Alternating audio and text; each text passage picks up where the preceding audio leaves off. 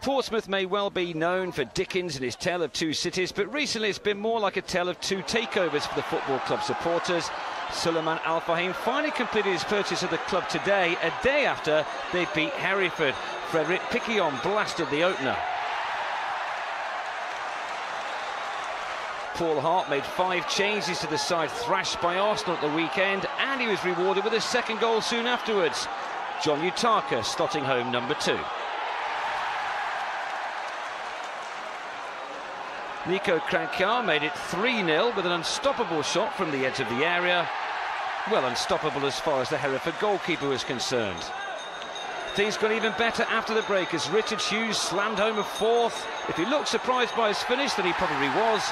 It was his first goal in five and a half years. Hereford won themselves a penalty as referee Andy D'Urso adjudged that Tristan Plummer had been fouled by David James' replacement Asmir Begovic. The goalkeeper came close to saving Plummer's penalty kick, but it mattered not as Pompey can now start thinking